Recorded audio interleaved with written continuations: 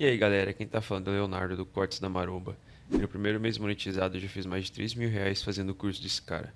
Se você quer trabalhar em casa como eu, ganhando dinheiro na internet, é só acessar o primeiro link da descrição.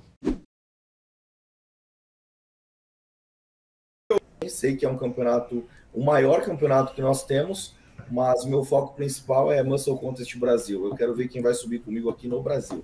Porra, que da hora.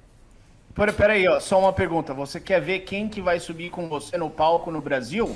É, porque talvez, né, é, os atletas de repente estejam cansados ou alguma coisa do gênero. Como falaram que eu arreguei de ter subido ano passado, que eu estava em uma fase minha da parte política, né? Então eu estarei no Muscle Contest do Rio esse ano e eu convido todos os atletas novamente a subirem ao meu lado.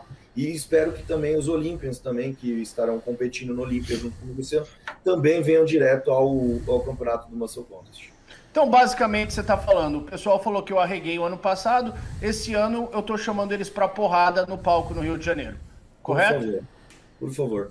Coach Rubens, sua próxima pergunta. Ai, caceta, velho. Eu não tinha visto isso. Aí foi pras cabeças, hein, cara. Aí fudeu, velho. O Terek sabe. Aí agora. Filipão, eu sou seu amigo, amo você, mas Agora não tem vai ter que cumprir, velho. Não, Você mandou os caras ir pra porrada contigo, velho. Agora não tem jeito, mano. O Terek, ele o Felipe ele é vai, ele vai, ele vai, ele vai, ele vai. Porque se ele assistir esse vídeo de novo, ele vai falar assim, puta, eu tenho que ir, velho.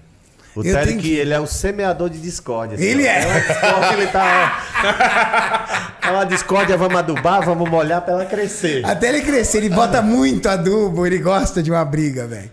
Ele gosta de uma briga. Puta merda, eu não tinha visto isso. Eu vi as pessoas falando, pô, mas o Fefranco desafiou, o Fefranco desafiou, foi ele que desafiou. Eu achei é, que tinha sido um- uma, uma coisa assim mais leve. Não, mas Pesado. é pesado, porque Foi. ele virou e falou assim: eu espero que os Olímpias, tipo, não corram, não vem com esse papo de que tá cansado, não, e vem competir comigo porque eu tô esperando vocês. E quando o Terek falou assim, então você tá chamando eles pra briga? Ele, por favor. Por favor.